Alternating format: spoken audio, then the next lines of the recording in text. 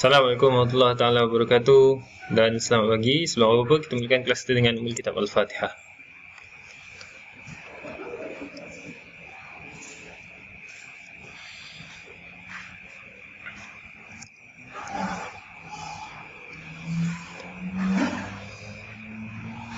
Bismillahirrahmanirrahim.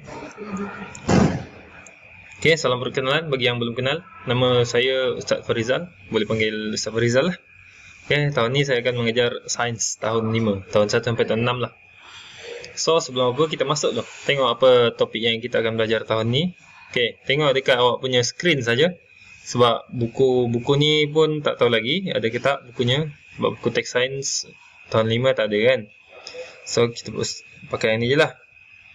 Okay, yang pertama, kemahiran saintifik. Okey, kemahiran saintifik ni kita gunakan kita punya kemahiran untuk mengkaji sesuatu lah. Okey, yang kedua peraturan bilik sains, yang ketiga proses hidup haiwan. Macam mana haiwan itu hidup? Kenapa dia ada cengkerang itu? Kenapa dia ada kuku ini? Okey, itulah. Ke uh, yang topik keempat proses hidup tumbuhan. Okey, hidupan ni tumbuhan ni macam mana? Adakah duri dekat kaktus tu sahaja? Okey, yang kelima tenaga. Sumber tenaga macam mana? Berapa banyak sumber tenaga kat dunia kita ni? Yang keenam, cahaya. Adakah cahaya ni boleh kita belok-belok ke kiri ke kanan? Okay, yang ketujuh, elektrik. Ha, elektrik ni macam mana sebenarnya? Kenapa dipanggil elektrik? Ha. Okay, sumber tenaga elektrik. Berapa banyak benda yang boleh menghasilkan elektrik? Yang kelapan, haba. Haba ni apa? Okay, apa ni yang macam kita tahu berkaitan dengan panas lah. Okay. Yang kesembilan, jirim. Okay, jirim ni apa? Adakah jirim ni sama dengan jisim? Ha, yang ke sepuluh, asid dan alkali. Asid, alkali, neutral. Ha, nanti nanti kita tengok lah. Yang sebelas, bumi, bulan dan matahari. Okay, kenapa bumi, bulan dan matahari? Kenapa tak bumi, marih dan mustari? Okay, yang ke-12 teknologi. Okey, teknologi lah. Teknologi ni benda yang paling penting lah untuk kehidupan kita seharian. Okey, disebutkan awak tak ada buku, awak tengok je dekat sini. Tengok je dekat sini. Okey, kita tengok ni. Tengok gambar ni lah. Gambar orang tengah bermain gasing. Okey, tengok orang bermain gasing. Okey, tengok gasing ni. Orang main gasing ya. Tengok orang main gasing. Macam mana dia main gasing. Okey. Okey, yang pertama, murid perempuan yang pakai baju hijau. Cepatnya gasing kamu berhenti. Mengapa ya? Okey. Yang pakai baju biru, biru, hore, saya menang kerana gasing saya masih berputar. Tengok gasing kat sini lah. Yang ni gasingnya gasing untuk baju biru lah. Yang ni gasing purple ni untuk uh, yang berbaju kuning. Okay, yang baju merah kata betul tu sedangkan kedua-duanya sama saiz. Okey. sebelum tu sebelum kita teruskan lagi Ustaz nak jawab satu benda eh beberapa benda lah. Okey tengoklah. Apa itu inference? Apa itu kemah uh, hipotesis? Apa itu pemboleh ubah? Pemboleh ubah yang terlibat, pemboleh ubah dimalarkan, pemboleh pemboleh ubah dimanipulasi dan pemboleh ubah bergerak balas. Okey yang inilah yang ni awak kena salin eh. Yang ni awak kena salin semua. Lima-lima ni. Okey, salin. Salin bila-bila lah. Sebab video ni awak boleh uh, boleh berhentikan lepas awak salin. Okey. Salin ni dulu. Okey. Okey, dah. Tak payah, tak payah. Itulah. Nanti awak salin je. Okey, kita tengok ni. Tengok seterusnya. Muka surat seterusnya. Surat 2 lah. Okey, ni adalah pros, uh, pertandingan roket air. Pertandingan roket air. Pertandingan roket air. Okey, roket air mereka boleh terbang lebih lama. Kita yang inilah. Okey. Mengenal pasti masalah. Okey, apakah faktor yang mempengaruhi tempoh penerbangan roket air? Apa faktornya? Banyak faktor kat sini. Ini pun banyak. Ni lagi, ni lagi. Ha, itulah.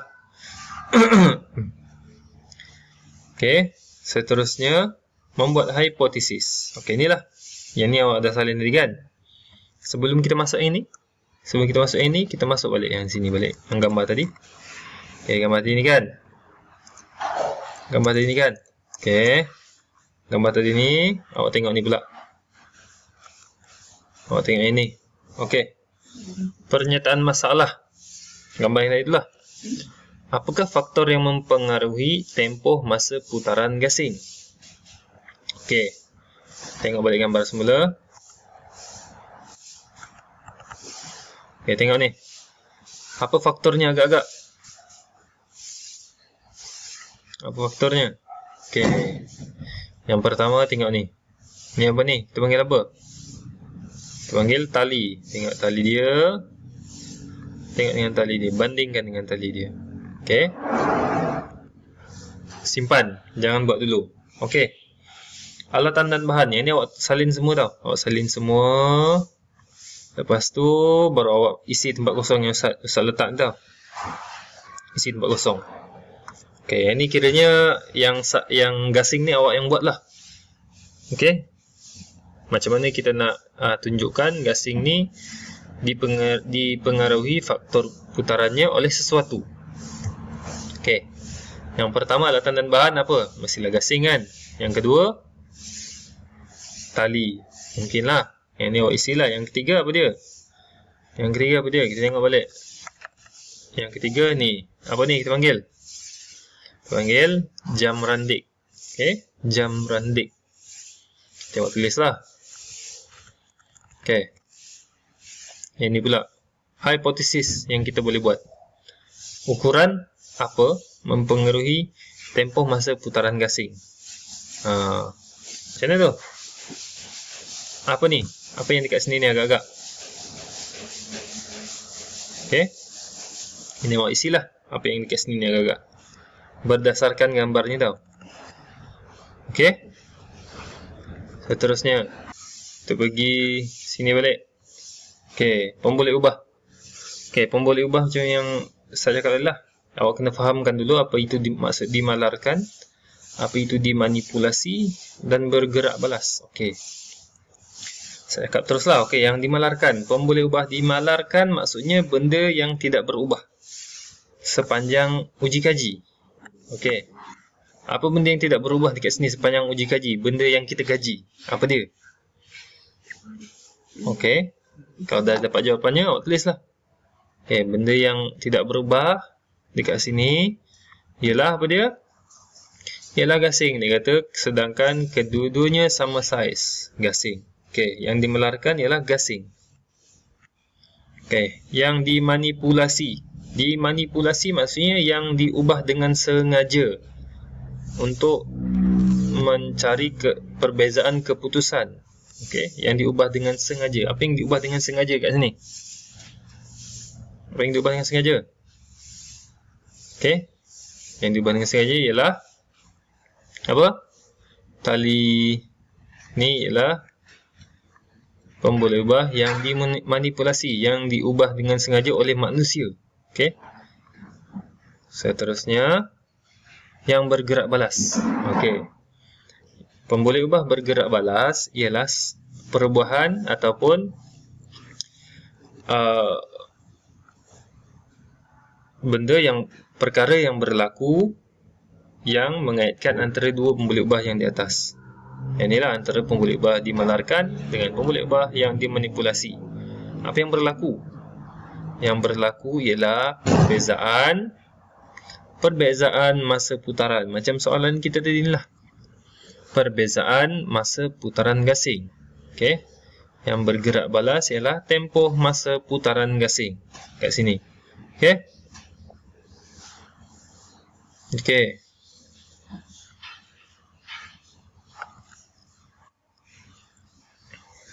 Okay, nanti jangan lupa isi dan awak boleh tonton video ni ulang-ulang. Tak kisah berapa kali awak nak ulang. Yang penting dalam masa dalam masa satu jam setengah tu awak kena ulang. Okay. Seterusnya ke kita masuk ke mahiran manipulatif. Okay, yang ni kita tak boleh masuk lah sebab yang ni dia ada eksperimen dia. Okay, yang dia ada eksperimen dia. Sekiranya kita mula sekolah nanti ingatkan ustaz untuk kita buat eksperimen ni. Eksperimen roket air. Eksperimen roket air, tahu? Okey. Okey, kemahiran manipulatif. Okey. Kemahiran manipulatif ni ialah kita menggunakan sesuatu dengan cara yang betul. Menggunakan sesuatu, contohnya kita gunakan kita kita mengendali spesimen. Okey, kita me, melakar kesan tapak kaki. Kita menggunakan peralatan sains dengan betul. Lepas guna, kita pun simpan simpan peralatan sains dengan betul. Okey. Kita guna kita pakai tu kita simpan. Kita bersihkan semula di tempat yang betul. Okey? Itu secara ringkas ni lah. Kemahiran manipulatif. Okey? Okey yang dekat gambar ni adalah Akma dan rakannya. Cikgunya minta dia siasat hidupan yang hidup di habitat ini okey dan lagi satu ialah mendengar arahan dan jangan memetik tumbuhan jika tidak perlu. Okey, sekiranya perlu sahaja baru memetik. Okey. Banyaklah yang dibuatnya. Ada empat orang ni. Dibuat melakar, mengendali spesimen, menggunakan dan mengendalikan peralatan dan bahan saiz dengan betul dan melakar melakar bentuk radas, melakar spesimen dan menyimpan. Bersihkan semua altan dan radas dan susun semula di dalam almari. Okey, itulah secara ringkasnya kemahiran manipulatif. Okey. Okey, tak ada itu, itu je untuk hari ini. Untuk topik ni itu je sebabnya uh, awak pun tak ada buku kan? Belum belum ada buku lagi. Okey, itu saja untuk hari ini. Okey, jangan lupa buat dua dua benda je. Yang pertama salin semula tapi itu inference dan memboleh ubah dan hipotesis. Yang kedua ialah uh, isi isi yang ni lah. Isi semula yang ni. Yang ni ni. Isi semula awak punya uh, yang kita cuba belajar berkenaan isi semula yang isi semua yang pasal gasing tadi itulah.